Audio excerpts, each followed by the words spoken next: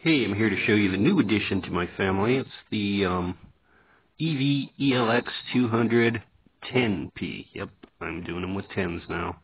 A little lighter for my back and a lot not louder.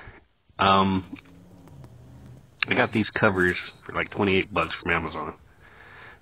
Believe it or not, they fit snug, they fit good. I wish they were a little more padded, but I guess that's the way they're done. And see this little lip right here all the way in the bottom? It just doesn't cover that, but I guess that's what it's designed to be, just right there on the bottom. Anyways, they do look good. Um, I'm so excited to try them out tonight.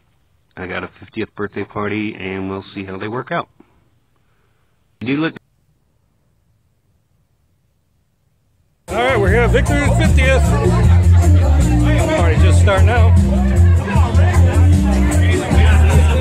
Of my gigs and the um, things I work at, I don't get enough pictures or videos because I'm busy doing what I'm doing. Um, so I didn't take any more shots than that. I got this stuff from the studio, or what I call my house. Anyways, the speakers worked amazing.